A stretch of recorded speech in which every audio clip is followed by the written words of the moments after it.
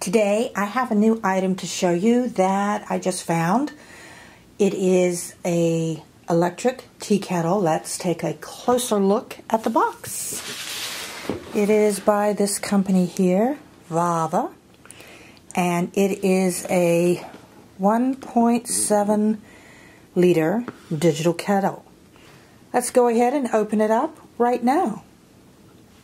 Here it is out of the box and you get the little owner's manual tells you how to program it and to use it. There's the base. This does seem like a pretty heavy duty um, base. A lot of them can be pretty flimsy and also if you want to make it shorter you can do that. So uh, that's nice but I, it does seem like it's a pretty nice a little bit more uh, heavy duty than the other ones that I've seen. It has a little stainless steel on it. I like that. Pretty nice. Now for the tea kettle, uh, very, very attractive. I really like this. This is a nice looking tea kettle. And let's take a closer look. Here you'll see this is the name of the company with their sort of logo, Vava. You have a clear window where you can see exactly how much water you put in it. That's nice. And nice uh, stainless steel. You have the spout, and you can see that there is a filter inside. And here, this is what makes this really different, is this part here. This is where you can program it to boil at a particular temperature.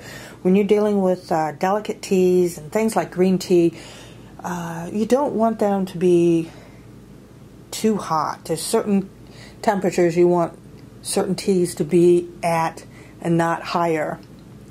So that's good. As you can see, it's a clear window, so you can look right down into it and open it. You do that let's look inside.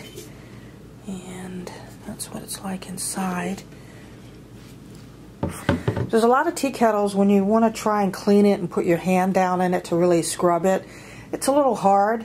So this this is a something that I do pay attention to when I want to look at and get a new tea kettle.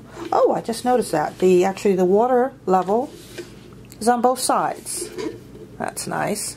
So depending on whatever side you prefer to have it uh, positioned, you'll still be able to see the amount of water you have in it. Uh, I guess the next thing, I'm going to go ahead, let's get some water, and I want to go ahead and try it out. Let's see how well it works. Um, right about there. Very easy to read, I like that. Uh, where we program it. It is in Celsius. I don't think this will read in Fahrenheit. It starts at 40 is lowest and then it goes all the way up to 100. So it goes from 40 to 100 Celsius for programming it. Uh, that's the just to heat the water mode is when you see the little tea kettle. And then the next one, this is a mode that to keep the water in here at the same temperature. So say you're making something in some tea, but you want it to keep staying warm. It'll keep heating up to keep it stay at that temperature. That's interesting. I like that. And then this one is an extended uh, boil mode. Let's make it 100 and then turn on. So let's program it to go to 100 Celsius. Celsius, it's blinking very fast. The capacity on this is 1.7 liters. That's a pretty standard size for a lot of these electric tea kettles is that size. Wow, this is fast. I like that.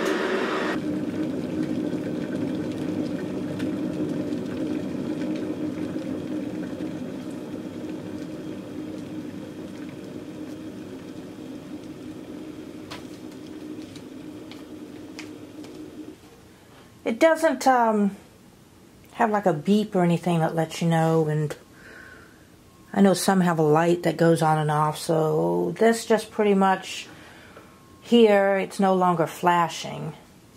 So that means that it's heated up.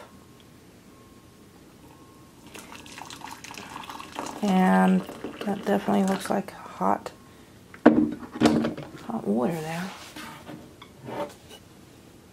overall I'm extremely pleased with this tea kettle. It's actually a lot better than I thought it was going to be. I've used a lot of tea kettles. I've owned a lot of the electric ones and my friends all have them. So I've used a lot and this one really is a nice one. It's nice and heavy duty. It's got a good base that's not flimsy and a lot of them do have some pretty flimsy bases on them.